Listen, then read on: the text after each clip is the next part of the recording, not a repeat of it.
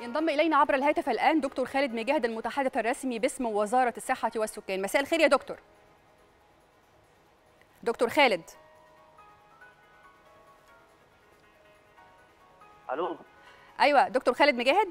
أيوه يا فندم. أيوه أسمعك جيدا. آه، تحياتي لحضرتك. طمنا بس على آه، المصابين. هل حالتهم آه، كويسة؟ وإيه الإجراءات اللي تم اتخاذها؟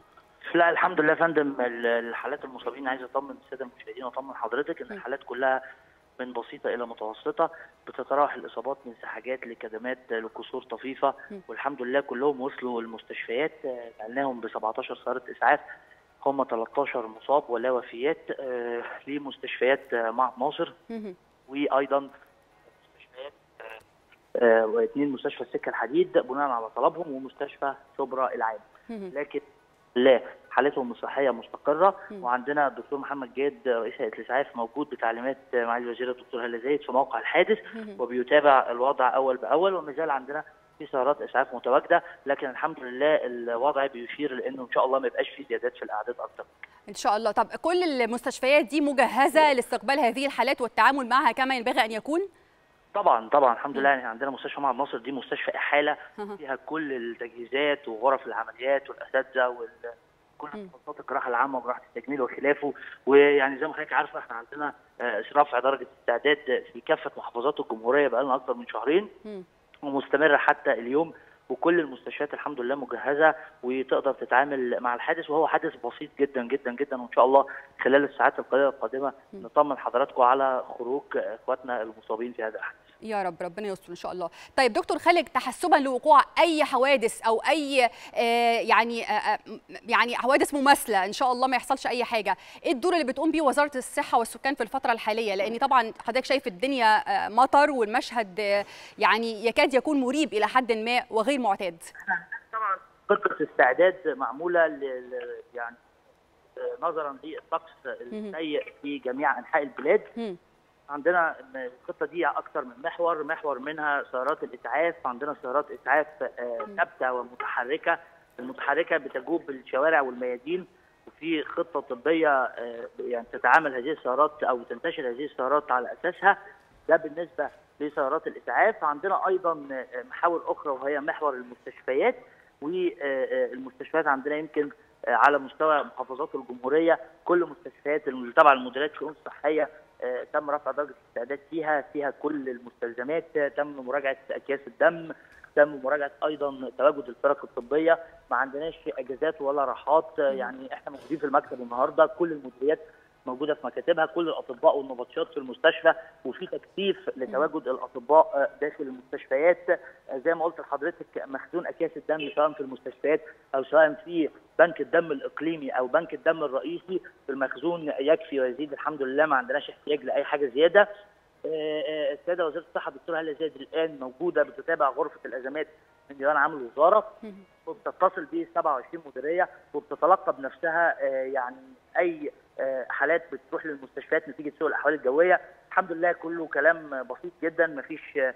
اصابات آه، مفيش أي حاجة آه، يعني كبيرة. وإن شاء الله يعدي بقية اليوم على خير وما يبقاش في حاجة بإذن الله. إن شاء طبعا الله. مستمرة غرفة الأزمات في المنصات. طب في خط ساخن أو أي حاجة لو مواطن حس بضيق لأن خلي برضو مع ال ال الأمراض التنفسية في الفترة الحالية أي حد هيحس بضيق تنفس هيخ- هيخاف إن يكون فيروس أو حاجة. يكلموكوا إزاي؟ إحنا عندنا خط ساخن 105 موجود آه، يعني الأمراض المعدية. وكل المواطنين بيتصلوا عليه وبيعمل 24 ساعة وعندنا خط ساخن آخر 15 3 3 5 مم. الخطين بيعملوا 24 ساعة وبيتم الرد عليهم فورا وطمأنة المواطن وخليني أقول لحضرتك كمان حاجة مهمة. إن إحنا نزلنا آه، صباح باكر اليوم الإرشادات الخاصة بكيفية العزل الذاتي سواء لأي حد يختلط بأي مصاب آه، بفيروس كورونا أو أي حد بيعاني من آه، أمراض تنفسية حادة نزلنا إرشادات العزل الذاتي آه، آه، سواء للمخالط أو لاسرته.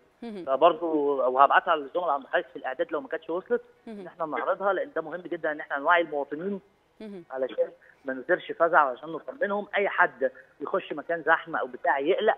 فعلى طول يعرف إيه هي الإجراءات الوقائية اللي ممكن يتبعها علشان إن شاء الله يخرج بسلام وربنا يسلم مصر. يا رب إن شاء الله طب بالنسبة للإجراءات المتبعة في الفنادق علشان الناس يعني كان في برضو بعض البلبلة اللي أثيرت في الفترة الماضية فعايزين نطمن الناس برضو شوف يا فندم الإجراءات المتبعة في أي مكان هي نفس الإجراءات الوقائية إحنا. عندنا إجراءات وقائية يعني في رقابة علشان تضمنوا إن الحاجة بتتم كما ينبغي أن يكون شوف يا فندم إحنا في. رقابة اولا عندنا منظمة الصحة العالمية.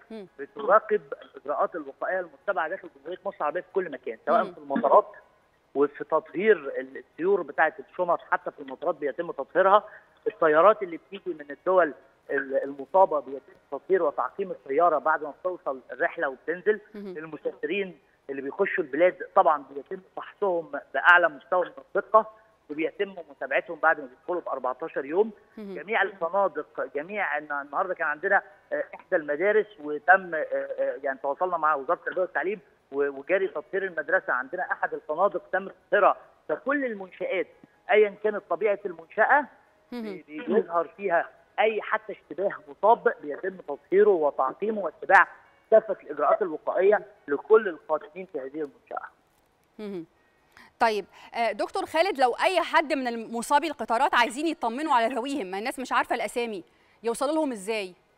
يتواصلوا معانا على الخط الساخن يا فندم زي ما ذكرت لحضرتك سواء. إحنا أو هيئة سكه الحديد وطبعا إحنا وهيئة سكه الحديد أو إحنا وزارة النقل متواصلين آه، في. كل ما يخص ال- الحادث في تواصل تام هم مسؤولين عن البعد الفني وإحنا مسؤولين عن ال- ال- المصابين. والحمد لله مفيش وفيات وإن شاء الله المصابين يطلعوا آه، في خلال وقت قليل جدا ويخرجوا بعد تحسن حالتهم. لكن أي حد عايز يطمئن على أي مصاب فورا بيتواصل معانا على الخطوط الساخنة اللي ذكرتها لحضرتك وإحنا فورا هنطمنه لو هو مش عارف ال ال يعني المصاب اللي هو اللي من ذويه. موجود فين هنقول له موجود فين لكن إحنا كل المصابين عندنا عندنا تسعه مصابين في مستشفى معهد ناصر واثنين في مستشفى شبرا العام. واثنين في مستشفى السكه الحديد راحوا بناء على طلبهم أعتقد إن هم سواق القطار والمساعد بتاعه تمام جدا وهم حالتهم كويسة السواق برضو والمساعد كلهم كلهم اصابات بسيطه جدا الحمد لله لأنه كان في احدى. القطارات متوقف مم. والتاني جاي من أسوان. فيعني الحمد لله الحادث يعني تم السيطرة عليه بشكل. مم.